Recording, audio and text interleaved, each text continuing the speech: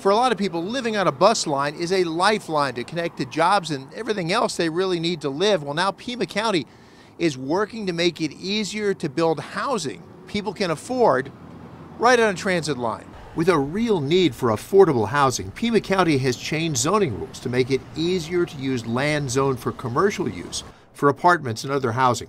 Because people who have trouble affording a home may have trouble affording a car, the county's made it a priority to encourage affordable homes along transit lines. Thornydale and Ina Road. Bruce Sillings has a place to live, but he likes the idea of using commercial land to build more homes close to the bus. Yeah, I don't drive anymore, so I'm de- totally dependent on buses. So, and as it is, even if you're um, on a bus, you still got to walk a long way.